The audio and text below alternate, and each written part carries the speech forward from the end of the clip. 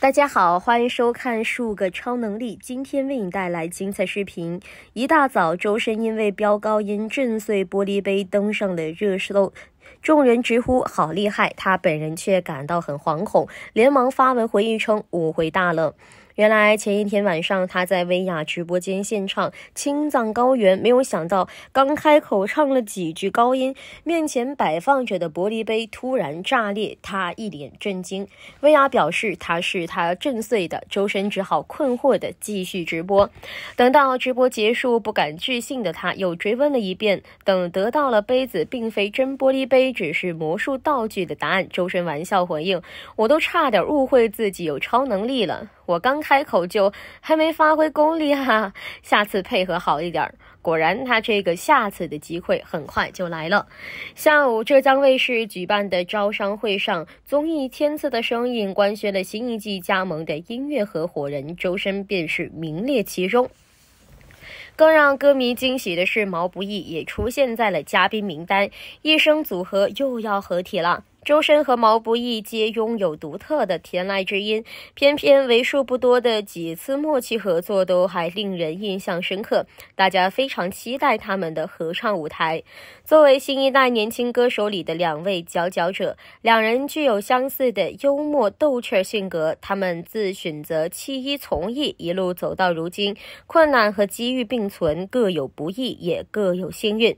天赋，身为两个九零后父母一辈儿的辛勤。努力在前，周深和毛不易的童年没有受过物质上面的困苦，甚至可以说比许多小孩都富足许多。虽然出生在湖南的一个偏远农村，但周深在很小的时候就跟随父母到贵州定居。他是个懂事儿的小孩，会主动的帮父母干活儿。我砍过柴、挑水，在农田里斗过蛇。当他表现出异于常人的歌唱天赋后，父母也很支持发展他这个爱好。在音乐老师的欣赏培养下，他参加学校合唱团，凭借实力担任领唱。所有人都看好他的发展，可是随着年龄增加，周深逐渐产生烦恼。身形矮小的他一直长不高，连引以为傲的嗓音也没有发生成熟的变化。同学们嘲笑，周围人讥讽，试图压低声音，讲话的他变得自卑又敏感。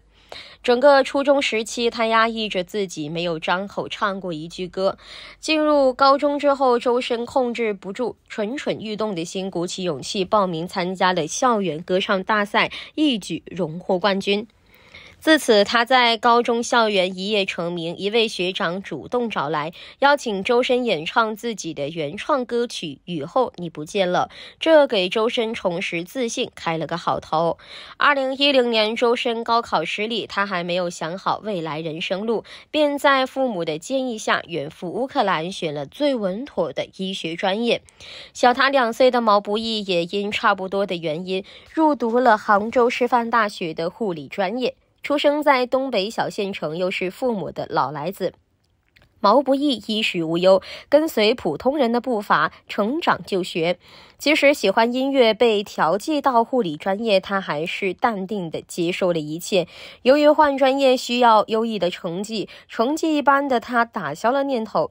从读书到进入医院实习，依旧按部就班地学习工作。但他们都没有放弃音乐。在校期间，毛不易参加过校园十佳歌手的比赛，也担任过歌唱比赛。的评委周深则发现了一个可以直播唱歌的网络语音平台，他给自己取名卡布，开启了直播。没有想过挣钱，更没有想过成名，只是想要一个尽情歌唱的平台。终于，学医倍感痛苦的他决定投身自己热爱的事业，通过考试转到了利沃夫国立音乐学院学习美声。正式踏上音乐道路。临近大学毕业的毛不易也在实习医院里感受着人生百态，不停见证死亡与离别的压抑日子里，他窝在离医院三百米的小出租房里，弹着吉他，写下一首首歌，缓解压力。写完后他会发在网上，尽管听的人不多，他也不以为意。相比起来，周深却在直播路上越走越远，积累了一些小粉丝。没有露过面的他被称呼为卡布女神，他很珍惜这一群歌迷，每次唱歌结束会挨个道声晚安。走红。追逐梦想的路上总是伴随着风雨。周深意外患上了声带小结，这是一种慢性喉炎，会导致声音沙哑，甚至造成失声。这对任何一个歌手而言都是一个莫大的打击。尝试了看中医、喝中药、吃西药、针灸、按摩各种方法，幸好他康复了。二零一四年，网络上以小有名气的周深受导演之邀参加第三季《中国好声音》，一曲欢颜惊艳全场，导师们大吃一惊。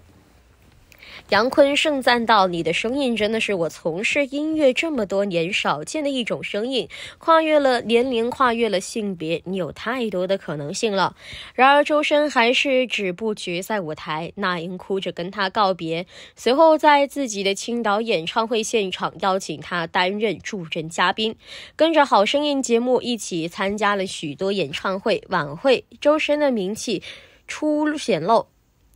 不久，他得到了献唱动画电影《大鱼海棠》的宣传曲《大鱼》的机会。这首意境优美的歌曲，在他轻柔嗓音的衬托下，很快席卷各大音乐榜单。周深真的红了。一年过去，席卷音乐榜单的换了另一首歌《消愁》。没错，毛不易正式进入观众的视线。面临即将时结束医院实习，父母都以为自己在找正式工作的情况，毛不易瞒着家人报名了选秀节目《明日之子》。节目组包吃包住他，坐上火车，独自来到海选现场。当你走进这欢乐场，背上所有的梦与想，各色的脸上各色的妆，没人记得你的模样。等再出来时，他已经是人气爆棚的冠军。节目期间，一共演唱十四首原创歌曲，首首极具个人特色，《消愁》更是无人不知、无人不晓的代表之作。天赋非凡的毛不易由此进入了李健的视线。李健是个惜才的诗人，他联合今年乘风破浪的姐姐总音乐总监赵照，亲自操刀为毛不易打造了首张专辑《平凡的一天》。李健加上赵照这个组合，曾经制作出《风吹麦浪》等多首获奖歌曲。他们把这次首次为旁人制作专辑的机会给了毛不易。新专辑面试前夕，李健特意给毛不易写了一段寄语：“首先，恭喜你有了这样一张起点很高的唱片，你的压力一直很大，压力大是件很自然的事情。你需要格外保护好自己的才华，你需要更自信些。实际上，以你的才华，你本应该足够自信，不要担心会有新的人取代你，没有人能取代你。这样的伯乐，周深也迎来了一个高晓松。”作为校园民谣的代表人物，高晓松喜欢干净纯粹的声音。周深便是自参加《好声音》出道就收获了他的关注。两人相交后耗时三年，高晓松自掏腰包并担任监制，奉献出七首作品，为周深量身打造了首张专辑《深的深》。高晓松直言，这么不惜代价为他制作专辑。大半辈子的人生里只有三次，前两位是二十年前的小柯和朴树。至于为何如此看重周深，他的回复更是简洁：喜欢人好。好了，今天的视频就分享到这里了，更多的精彩资讯尽在数个超能力，敬请关注哦。